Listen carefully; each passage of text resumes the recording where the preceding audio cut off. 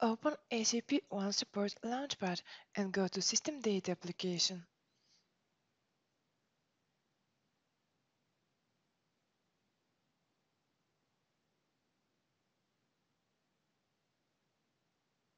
Select the desired system and click on Reassign.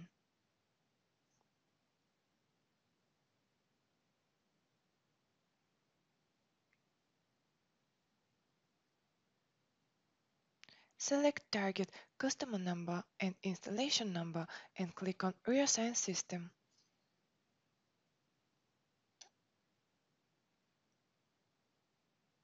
The system will now appear under the new installation number.